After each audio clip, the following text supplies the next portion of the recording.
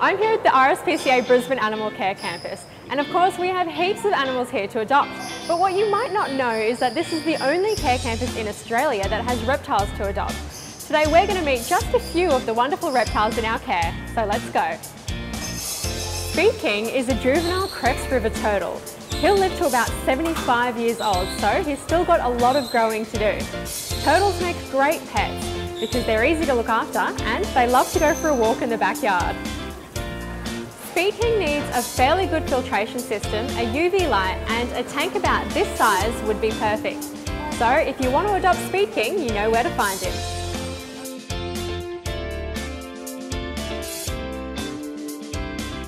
This is Mishka the spotted python who's currently available for adoption at RSPCA. She's about six years old, but she's probably going to grow to about twice this length and she'll live for 15 to 20 years. Mishka is very easy to look after. All she needs is a one metre enclosure, a heat lamp, a UV light, somewhere to hide, fresh water and about one mouse a week. She's perfect for beginners, so if you're looking for your very first snake, you can't look past this sweet girl. This is Doc, a two-month-old pink-tongued lizard.